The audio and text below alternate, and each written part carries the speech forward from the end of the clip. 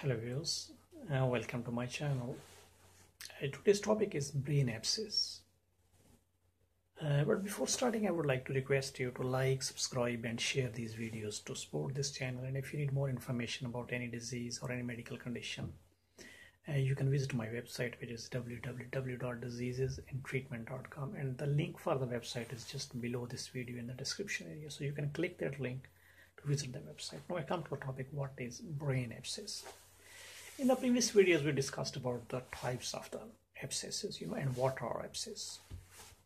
Uh, basically abscess is uh, uh, a pus filled swelling uh, that can happen anywhere in the body. It could be on the skin or it may be in the inside the body. And the inside the abscesses are known as internal abscesses and brain abscess is one of the internal abscesses one type of the internal abscess known as brain which uh, location is in the brain you know.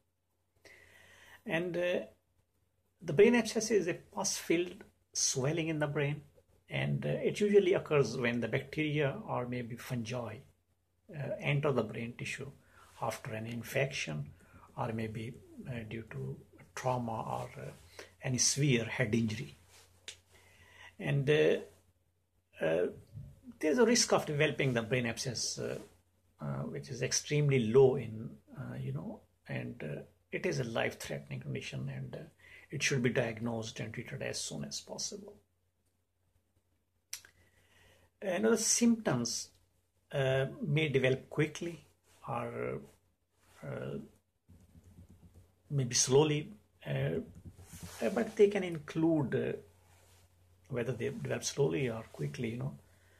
Uh, the most important symptoms are the headaches, uh, changes in the mental state, uh, high temperature, uh, seizures or the fits, and nausea and vomiting, and uh, change in the uh, or maybe stiff neck.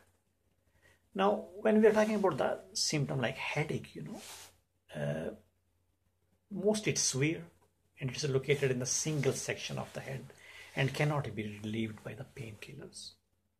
Also, severe headache. And uh, when we are talking about the changes in the mental state, which means that uh, the confusion and the irritability, and uh, there are also problems with the nerve functions, you know, which means that uh, can cause a, the symptom could be the muscle weakness or maybe uh, slurred speech and maybe paralysis on one side of the body. So these are the neurological symptoms. You know. And uh, the changes in vision, uh, like uh, uh, blurring or graying of the vision or the double vision, known as a diplopia, uh, which may be due to the abscess, uh, like uh, that abscess is putting pressure on the optic nerve, you know, so which can cause the vision changes. So these are the common symptoms. Now, any symptoms that suggest a problem with the brain and the nervous system should be treated as a medical emergency. And uh, if you are suffering from the slurred speech, if you're suffering from the muscle weakness or paralysis or the seizures occurring in a person with no obvious reason or no previous history, don't wait. Call the emergency services straight away, ambulance or whatever the emergency services available in your location. Call them straight away. Don't waste your time. This could be life threatening. Okay, so any symptoms that's just a worsening, like uh, infection such as fever or vomiting, or uh, uh, it should be reported to uh, your doctor you know so uh, it's very important. Now the next thing is what are the causes? Well there are three main ways the brain abscess can develop.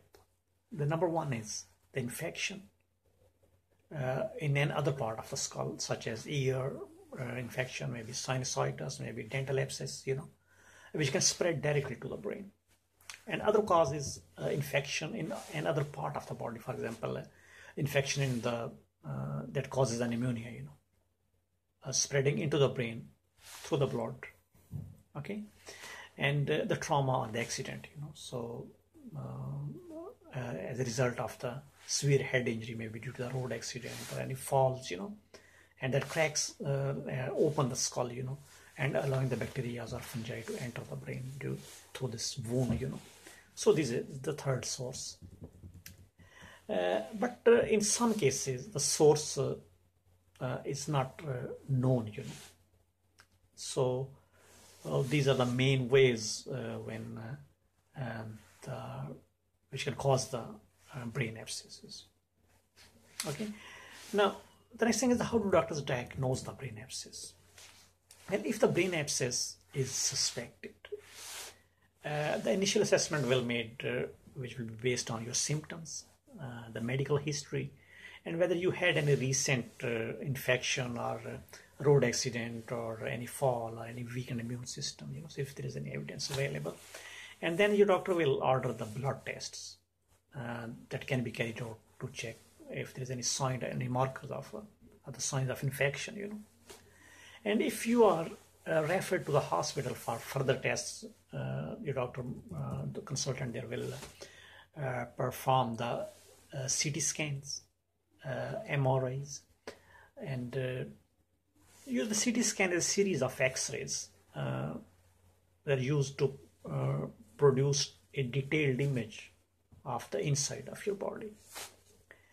And uh, MRI, uh, which is uh, the magnetic resonance imaging, uh, where the strong magnetic field and the radio waves are, are used to produce the detailed image of inside of your body. So these are very helpful to find the exact location and the size and all that of the brain abscess. And uh, if uh, the doctor is successful to find a, a like a brain abscess, you know, then a, uh, the further testing will be involved like a CT scan guided aspiration of that uh, uh, brain abscess, you know. Uh, and the purpose of this is to uh, remove that pus, uh, which will ease the pressure as well. And uh, but the main purpose will be to test under the microscope, and this involves using the CT scan to guide the needle to the site of the abscess more precisely to get the sample and uh, drain as well. Now once diagnosed, uh, then what are uh, the treatment options? Well, the brain abscess is regarded as uh, the medical emergency. So the swelling caused by the abscess uh, can disrupt the blood and the oxygen supply to the brain. So uh, there are also risk of abscess rupture so which can cause the severe damage to the brain. So if it's left untreated, the brain abscess can cause permanent brain damage and could be fatal. So it's very important that it's treated as soon as possible. And uh, the brain abscess is usually treated uh, the combination of medications, uh, antibiotics or the antifungal medications, um, uh, if you know the source, you know, and uh, the surgery. So it's a combination of surgery and the medications. And uh, when the surgery is involved, uh, either the drainage uh, through the hole in the skull, which is known as simple aspiration, or maybe opening the skull and removing the abscess uh, entirely. So it depends on the location and the size of the abscess. Uh, so whatever the appropriate procedure your team of doctors decide, you know. And the treatment with the antibiotics often begins before the diagnosis is confirmed to reduce the sizes and the complications. Okay. Now, the complications of the brain abscess uh, can include uh, another one uh, like reoccurring abscesses, uh, brain damage, uh, epilepsy, and meningitis. So these are the major complications. Now, you should seek the immediate medical advice if you think that uh, there's even a small chance of abscess is coming back, you know. Uh, so this is more common in the people with the weakened immune system. And uh, the other complication is the brain damage. So mild to moderate, like moderate brain damage, uh, uh, often improves with the time. Uh, but the severe brain damage is likely to be permanent, you know, and uh, it's uh, you know the brain damage is more of a risk if the diagnosis and the treatment is delayed. So it's very important. That's why it's very important that uh, you get the treatment and the diagnosis as soon as possible. Epilepsy is another complication. So uh, epilepsy is when uh, the person has the repeated seizures or the repeated fits, you know. And the meningitis is another and the most severe and the life-threatening complication of the brain abscess. It's life-threatening and uh, it's infection of the protective membranes around the brain, uh, which requires urgent treatment, and this is more common in children. So these are the very serious complications. Uh, thank you very much for watching this video. If you need more information about any disease or any medical condition, you can visit my website, which is www.diseasesandtreatment.com.